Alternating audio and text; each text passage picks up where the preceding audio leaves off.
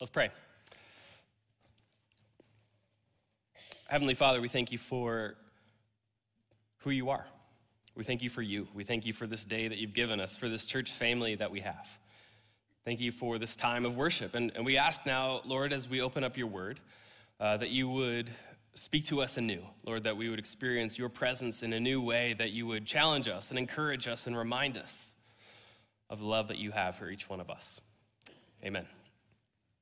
Well, it is uh, good to be back with you. It's been a little while. My name is Joe Scavotto, one of the pastors here at Chapelstreet. Uh, since we last saw each other uh, in the Scavotto family, we celebrated a birthday. My son Luca turned one a few weeks ago. We're very excited about that, also incredibly overwhelmed.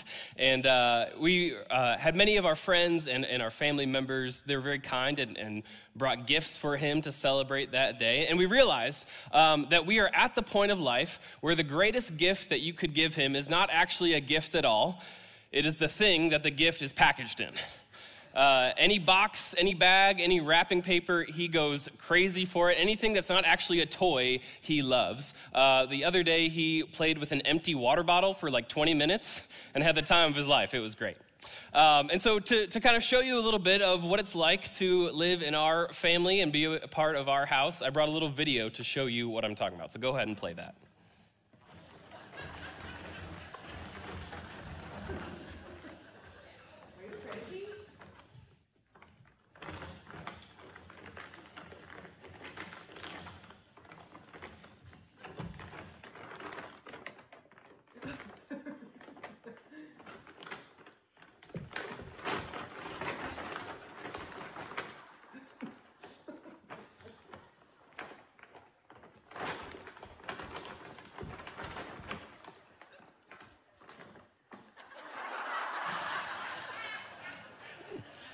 The look of confusion. I love it.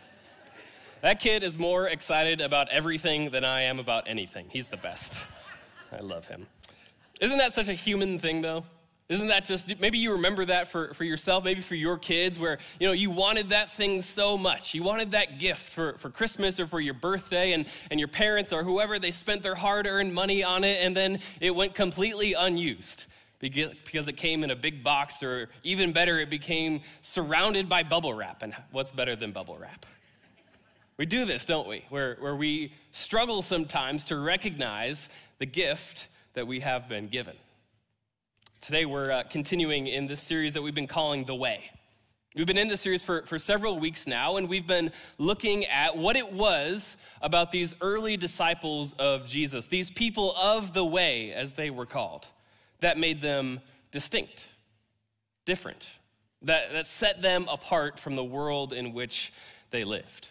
And we've been doing that, this so that we, as followers of Jesus today, would consider what it means for us to be disciples as well. If you've been part of this series, you might remember as we've looked at things like the way of generosity, the way of service, the way of love. And today we turn our attention to the thing that was for Jesus perhaps the greatest gift that his Father gave him. A gift that for many of us we often struggle to recognize and use as we turn our attention to the way of prayer. You don't have to answer this out loud, but, but if I were to ask you to describe your prayer life, how would you answer? If I were to ask you what feelings come to mind when you think about prayer, what would you say? Guilt about not praying enough? Confusion on how to do it? Doubt that anybody is actually listening? Why do we pray? What is the purpose of prayer? Our goal today is to ask these questions not just of ourselves, but of Jesus himself. What did Jesus teach about prayer? What did he believe and what allowed him to see prayer not as a burden, but as a blessing, as a gift from his heavenly Father? What place does prayer have in my life? To answer these questions, we're going to turn our attention to Luke chapter 11. If you have a Bible with you, I'd encourage you to turn with me there. Uh, we're going to look at these first couple of verses in this chapter, and we see Luke's version of the Lord's Prayer. Many of you will have heard or even memorized the version we see in Matthew's gospel. Luke's version is a little bit shorter, but we're going to turn there and explore what prayer is truly about. So let's go to Luke chapter 11, starting in verse 1. It says this Now Jesus was praying in a certain place, and when he finished, one of his disciples said to him, Lord, teach us to pray as John taught his disciples. And he said to them, When you pray, say, Father, hallowed be your name, your kingdom come. Give us each day our daily bread. Forgive us our sins, for we ourselves forgive everyone who is indebted to us. And lead us not into temptation. Here we see these famous words, familiar, I'm sure, to many of us. But what I want to do today is look at this famous prayer not just as a formula that we should memorize, but rather a model to teach us what Jesus truly believed the purpose of prayer was all about. So I want to point out just a few things to you today. First, we see a prayer of connection a prayer of connection. I, have mentioned this before. Uh, Judy and I, we started dating in college, um, and uh, it was my junior year of college. And that following summer, I lived in Atlanta, Georgia. I was doing short term uh, missions work. And the place where I lived and the area surrounding it had absolutely zero cell phone service and zero internet coverage. It also had zero air conditioning, which is not relevant to this story, but I just like to complain about it. Now, I'm not sure how it happened. This wasn't that long ago, uh, and, but we that whole summer we couldn't text, couldn't call, couldn't FaceTime. Like I thought about writing her letters. I was getting desperate. Um, and so, for two and a half months, our entire relationship was talking on the phone once a week, hearing about half of what we said. And I just remember the feeling of going back to school that following fall and actually seeing her every day and talking to her and having this thought come to me of this is how it's actually supposed to be. This is how relationships are supposed to work. Actually, seeing and talking to the person. Who knew? But I think for many of us, this is a picture of what our prayer life can sometimes be. Look with me again to this first verse of Luke chapter 11. It says, Jesus was praying in a certain place. And when he finished, one of his disciples said to him, Lord, teach us to pray, as John taught his disciples. Let's pause there. Let's ask a few questions before we get into this famous prayer. We're told this that Jesus was praying, and we know that this is not a unique one time thing. In fact, in Luke's gospel, there are nine separate occasions that he mentions Jesus praying, many of them during or before some of the biggest moments of his life. We see this during his baptism. He prayed. Before selecting his 12 disciples, he spent all night in prayer. We see it in the garden before his betrayal and his arrest and his crucifixion. We see this in Luke chapter 5 as well, this really interesting couple of verses. It says, Even more, the report about him, that's Jesus, went abroad, and great crowds gathered to hear him and to be healed of their infirmities. But he would withdraw to desolate places and pray.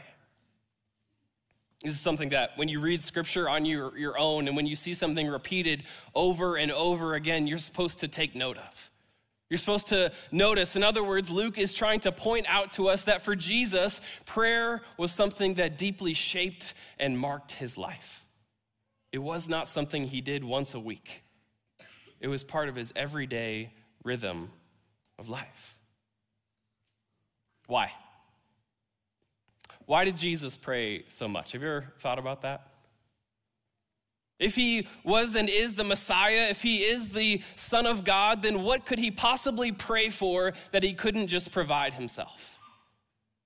For Jesus, for us. What is the purpose of prayer? David Platt, who is a uh, pastor and author, put it this way He said that the primary purpose of prayer is not to get something, but to be with someone. You see that? That prayer is so much more than what so many of us see it as. It is so much more than just memorizing some religious or spiritual sounding words. So much more than something we do just to not feel guilty. so much more than a way to get what we want in life. Prayer is the gift of time with the one who has created us. Prayer is the reminder that the God of the universe wants to have a conversation with me. I love how Pastor Brian puts this. He, you might have heard him say this before. He says that prayer is being loved by God. See, this is why Jesus would pray so much. In the same way that my relationship with my wife only grows when I spend time with her and see her and talk to her. My relationship with God, the closeness that I have with Him, my ability to hear His voice and feel His presence comes only from time that I spend in prayer. Uh, back when I was in high school, I was on my school's basketball team, and, and all we ever wanted to do when we were practicing was scrimmage. And they had us do all these drills all the time. We would always practice these fundamentals, and we thought we had outgrown them, that we had moved on to something more advanced. And so I remember one time we were complaining to our, our, coach about this, and, and he, eh, in response, pulled up a bunch of videos of some of our favorite NBA players, the biggest stars of the game, the masters of their craft, before games, practicing, doing drills, working on the same things that we did that we thought we had outgrown.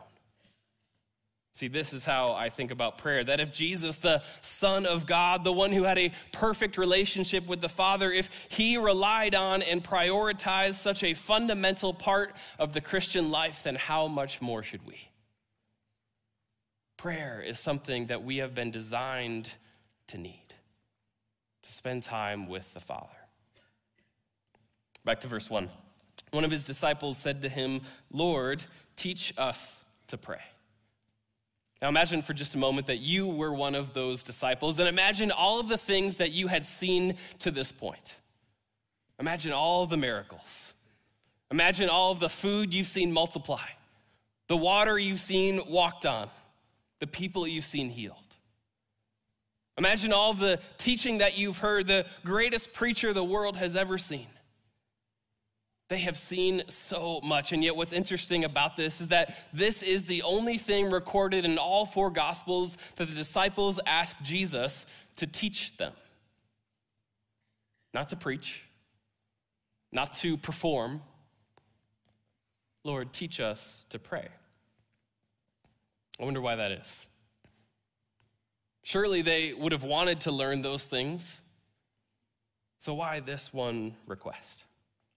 We don't know, of course, but here's what I think that they realize something that we must realize as well that it is better to have the presence of God than it is to have the power of God. Prayer is not a weapon that we wield to get our way. Prayer is not about God's power joining our team,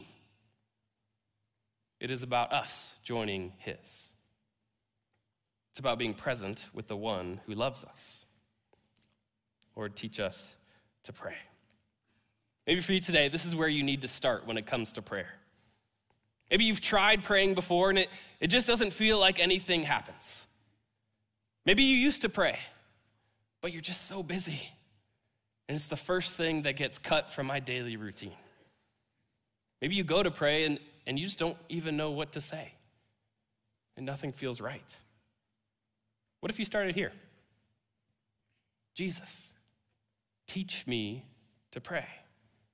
Teach me that it's okay to not have all the right words. Teach me that it's okay to pray angry prayers, confused prayers, doubt filled prayers. God, teach me to hear your voice. Remind me that prayer is not about getting something, but being with someone. This is what it looks like to pray a prayer of connection. That brings us to this model of prayer that Jesus teaches his disciples. Let's look at a prayer of surrender. A prayer of surrender. Um, it's always around this time of year that I think back to some of my favorite times I spent with my dad. Uh, which were watching Bears games together. Uh, this is my son's first full football season. Uh, I kind of feel bad about raising him as a Bears fan. Anybody know that feeling? Um, like, how much pain am I subjecting this kid to? Um, It kind of feels cruel. I even convinced Judy, by the way, uh, to make his birthday party Bears themed. It was a berry happy birthday, which is pretty good, right? I am available to help plan your child's birthday party. But becoming a parent, I, have just been reminded of those times that I spent with my dad. And just the, the, the, unspoken connection that I felt with him, the bonding experience that it was, where we just enjoyed each other's presence, even as we watched one loss after another. But this, I think, is this image of prayer that Jesus gives us. Look again to Luke chapter 11 and verse 2. He said to them, When you pray, say, Father, hallowed be your name, your kingdom come. So, this, according to Jesus, is how we are to pray and who we are to pray to. That God is both our heavenly Father and that his name is hallowed, which just means holy or set apart. Now, we're used to this idea of God being our Father, but for these disciples, this would have been kind of shocking to hear. Throughout the Old Testament, God is referred to as Father only a handful of times, almost always in reference to the nation of Israel, not to me as a person. The Jewish people considered themselves too unworthy to even use his name. Many of them would just call him the name. But Jesus says, No, this is my Father. He uses the term over 160 times, and here he teaches us something about prayer that this is how we are to approach the God of the universe, the creator of all things, the one whose very name is holy and set apart. Father. Maybe today you need to hear the message that we can find in this one simple word.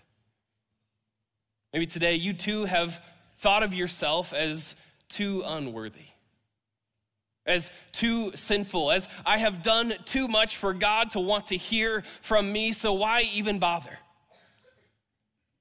Here, with one word, Jesus reminds us that yes, God is holy, and yes, his name is set apart, and no, we shouldn't take that name lightly or in vain.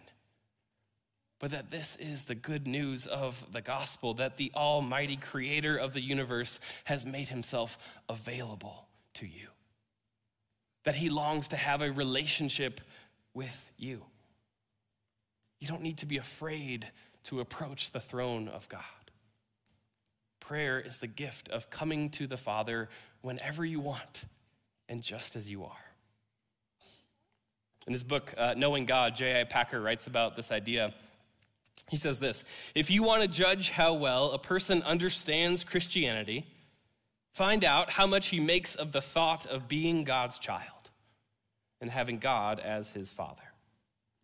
In other words, at its core, Christianity is not about a set of rules that you have to follow.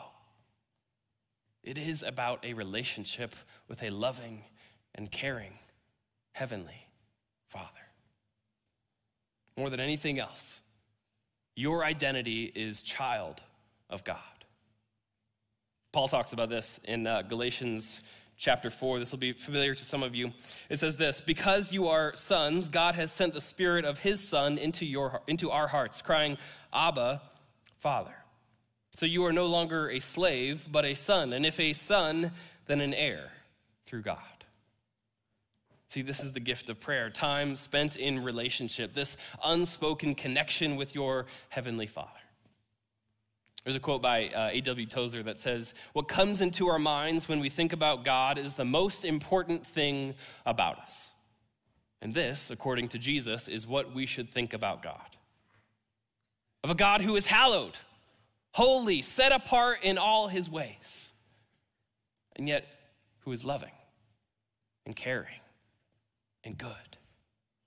A father who longs to hear from his children. Verse 2. Father, hallowed be your name, your kingdom come. Now, have you noticed something about who this prayer seems to be focused on? Look at it again.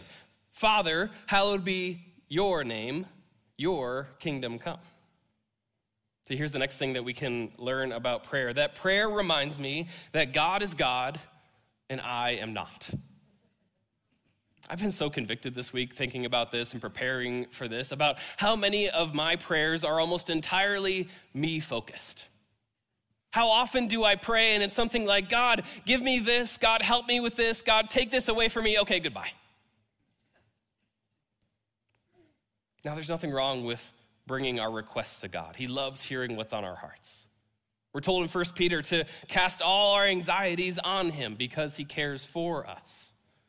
But can I ask you something? If I were that way in any other relationship in my life, if I went to my wife and the only time I talked to her was to get something from her, what kind of relationship would that be? See, prayer reminds us that God is God and I am not. It gives me the opportunity to get off the throne of my life. If you were here several weeks ago, you might remember we talked about the way of self denial. We see this in Luke chapter 9, where Jesus tells his disciples that in order to follow him, they must deny themselves and pick up their cross. We talked about what that means, which is not to deny yourself things, not to deny who you are, but rather to deny yourself is for this prayer to come alive, that God's kingdom would come into my life, that He would be the one that sits on the throne, that I am the one that surrenders, that surrenders to His will and His way, and it is His kingdom that I am looking to advance. What a dangerous prayer this is. To say, God, in every part of my life, your kingdom come.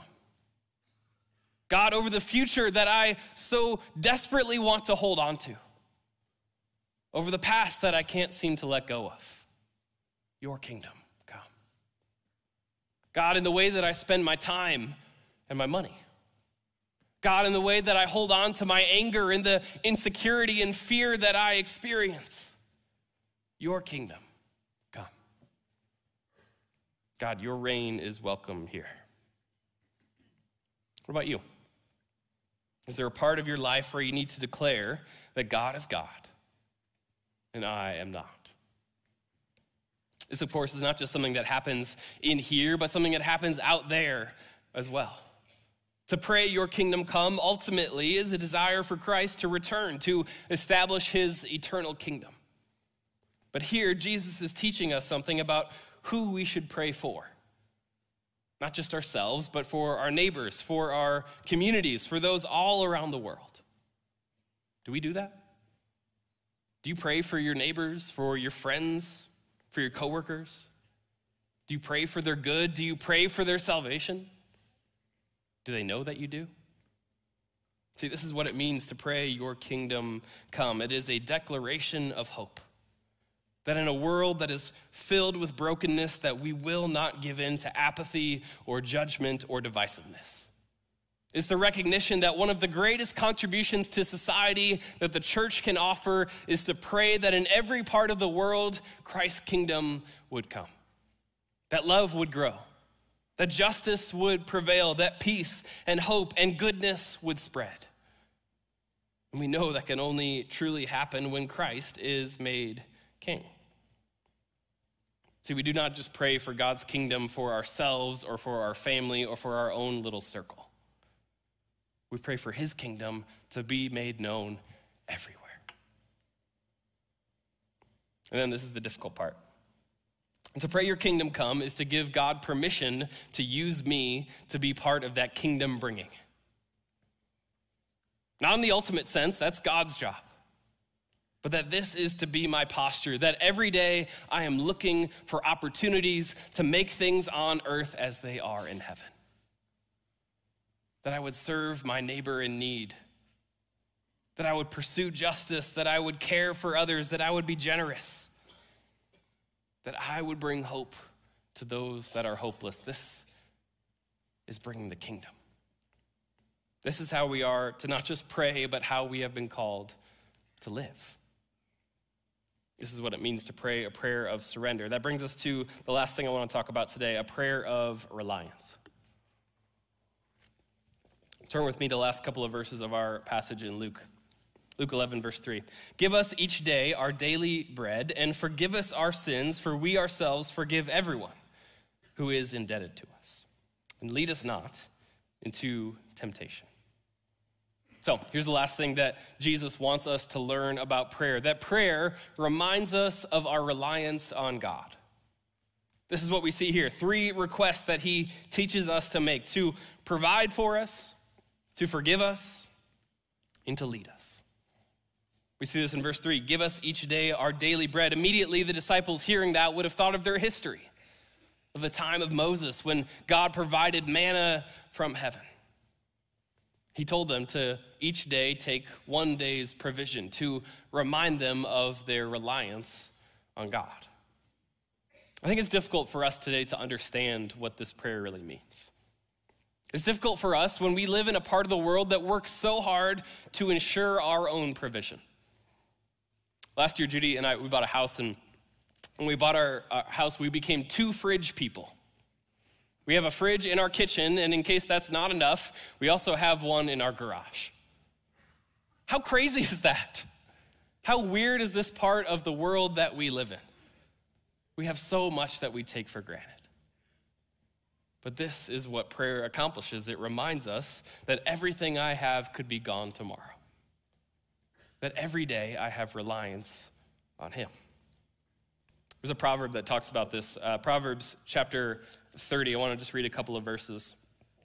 It says, Two things I ask of you deny them not to me before I die. Remove far from me falsehood and lying. Give me neither poverty nor riches. Feed me with the food that is needful for me, lest I be full and deny you and say, Who is the Lord? Or lest I be poor and steal and profane the name of my God. Do you see that? In other words, God, give me just as much as I need.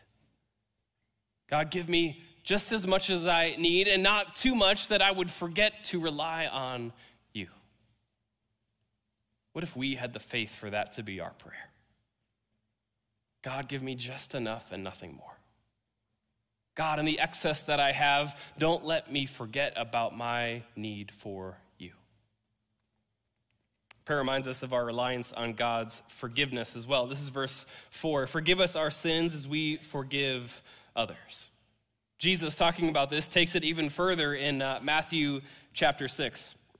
Matthew 6 and verse 14, he says, If you forgive others their trespasses, your heavenly Father will also forgive you.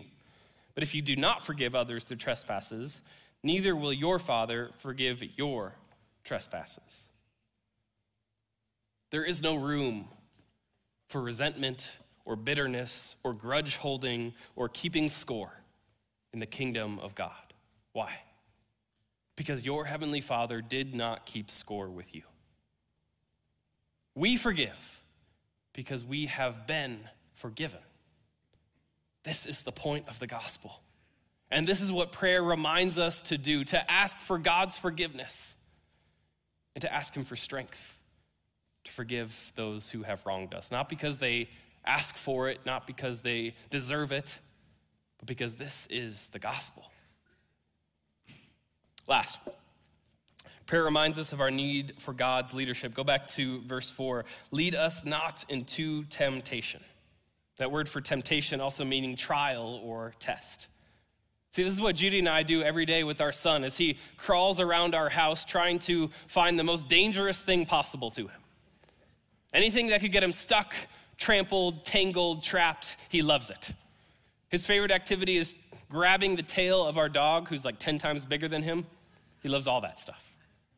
And so every day we are, picking him up and putting him back into safety and leading him away from danger and putting him back on the right path. And this is what we are to pray for ourselves God, lead me not into danger. Keep me from the things that you know I do not need. Keep me on the right path. Only you can do that. This is a picture of what prayer was always supposed to be an opportunity to spend time with your Heavenly Father, a reminder that He is God and we are not, a reminder that we have need to rely on Him. And this is the last thing I want you to notice that we were not created to pray alone. Did you notice that in this entire prayer there is no I, there is no me, and there is no mine? What does it say? Lead us. Forgive us. Give us our daily bread. See, prayer was always something that we were meant to do together. So, what I want to do today as we close, I want to invite our worship team back up as they make their way up here. Go ahead and put the prayer back up on the screen. So, we're going to do something uh, together just to give us an opportunity to do what we have been called to do to pray out loud together. How we're going to do this is we're going to pray it um, out loud one sentence at a time, and then we're going to just take a few seconds and pause and reflect on what it means because we know that prayer is not simply reciting words, but it is having a moment, having a conversation with our Heavenly Father. So, if you're able to, would you stand with me?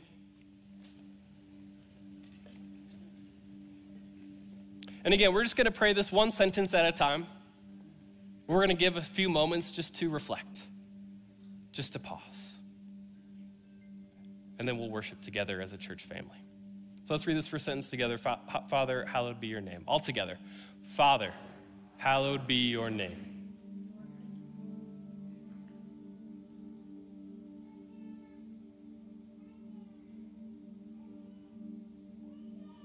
And the next sentence Your kingdom come.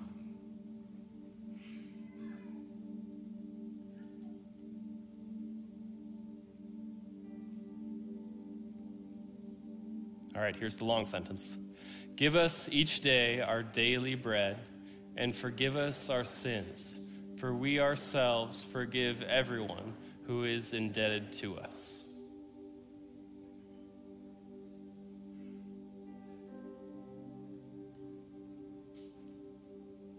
And all together. And lead us not into temptation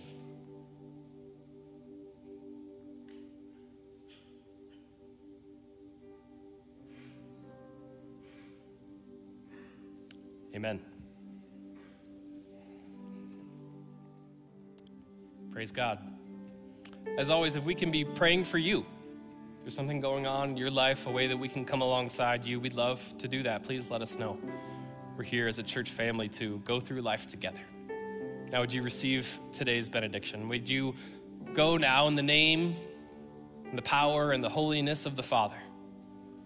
Go in the love of the Son and go in the power of the Holy Spirit. Amen.